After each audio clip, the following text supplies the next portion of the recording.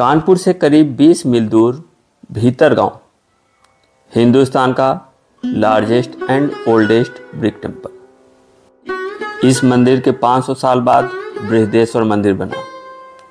700 साल बाद Angkor Wat का मंदिर और कुतुब मीनार बनती है। और 1200 साल बाद लाल किला बनता है, दिल्ली में ताजमहल आगरा में। भीतर गाँव का यह मंदिर हमारे स्वर्ण युग की झांकी ही नहीं, बल्कि उसका साक्षी है, जो आज भी खड़ा है और बतला रहा है कि आप कौन हैं। 1877 में अलेक्जेंडर कनिंघम, जो उस समय पुरातत्व विभाग के सर्वेयर थे, नज़र पड़ती है। ये कहानी है वास्तुकला की नागर शैली में बने भारत के सबसे पुराने मंदिरों में से एक, जो आज भी जीवंत उदाहरण के रूप में आपके सम्मुख मौजूद है।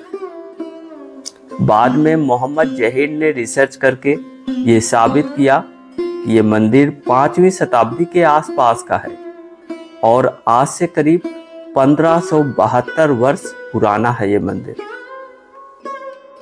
दरबार से जैसे ही निकलेंगे, सीधा हम पकड़ते हैं रास्ता साढ़ के लिए।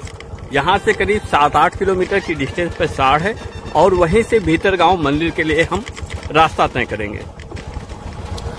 और यहाँ से शुरू हो जाता है कानपुर नगर क्षेत्र। तो करीब दो किलोमीटर और बचा है कि हम साढ़ पहुँच जाएँगे और साढ़ पहुँचते ही आपको सीधा हम लेकर चलेंगे भीतर गाँव के उस प्राचीन मंदिर पर, जो गुप्तकालीन है, जो भारत का सबसे प्राचीन मंदिर।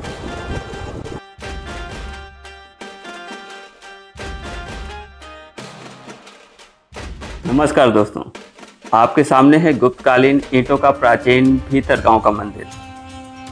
अब सीधा हम यहाँ से अंदर प्रवेश करेंगे और यहाँ के ऐतिहासिक धरोहर से आपको रूबरू करवाते हैं। जैसे ही गेट से अंदर एंट्री करते हैं, आपको यहाँ देखने को मिलेगा इष्ट का मंदिर। एक्चुअल में होता है कि संस्कृत में ईंटों को इष्ट का बोला जाता है। अतः जितने भी प्राचीन मंदिर हैं, जो ईंटों के बने हुए हैं, उन्हें इष्ट का मंदिर का नाम दे दिया जाता है। आप सभी की जानकारी के लिए बता दूँ, हिंदू धर्म के अनुसार शुरुआत में पूजा पाठ, हवन वगैरह खुले में करवाए जाते थे। बाद में मंदिर फ्लैट बनने लगे। और यह उन चुनिंदा मंदिरों में से एक है, जो शिखर वाला मंदिर है। यानी भारत के प्राचीनतम शिखर मंदिरों में से एक, यह भीतर गाँव का प्राचीन मंदिर है। मंदिर के बाहरी आलों पर टेराकोटा की मूर्तियाँ मौजूद हैं। बाहरी दीवारों पर भगवान शिव, विष्णु, माता सीता, श्री कृष्ण आदि देवी देवताओं की कलाकृतियाँ विद्यमान हैं। दीवारों पर भगवान की मूर्तियाँ और कहानियों का भी चित्रण किया गया है। यहीं पर माता सीता के अपहरण का वृत्तांत भी दर्शाया गया है। टेराकोटा की इन मूर्तियों से उस समय के परिवेश पहनावे से भी हम परिचित होते हैं। ये वो समय था जब स्थापत्य में पक्की ईंटों का प्रयोग शुरू हो गया था। इसका निर्माण काल गुप्त काल में पांचवी से छठवीं शताब्दी के मध्य हुआ था।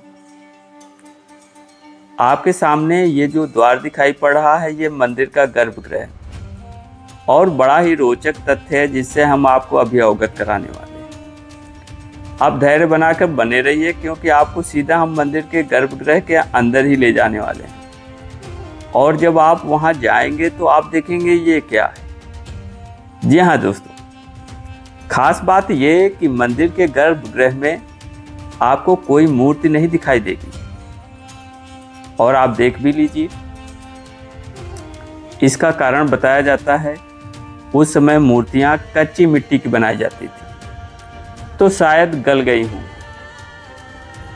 और वैसे भी इतना लंबा समय हो गया अगर यह पक्की ईंटों का मंदिर ना होता तो आज भी शायद हमारी ऐसी धरोहर संरक्षित दोस्तों 1905 के बाद इस मंदिर को रिकन्ट्रस्ट किया गया था। और उसी का परिणाम है कि आज भी इसे हम आप देख पा रहे हैं।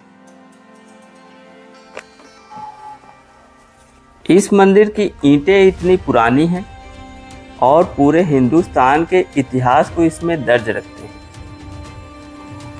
उदाहरण के तौर पर आपको वीडियो के शुरुआत में मैंने दिखाया।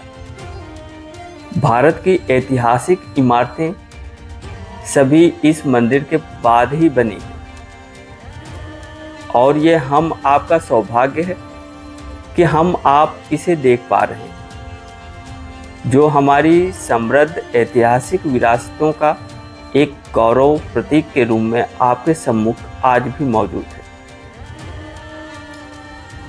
इसको जितना निहारेंगे, उतना गहराई में डूबते चले जाएँगे। एक दौर उस दौर की निशानी। तो दोस्तों, ये रहा एक छोटा सा ब्लॉग आप सभी को कैसा लगा? अगर पसंद आया हो तो वीडियो को लाइक एंड शेयर करना मत भूलिएगा। आप सभी का बहुत बहुत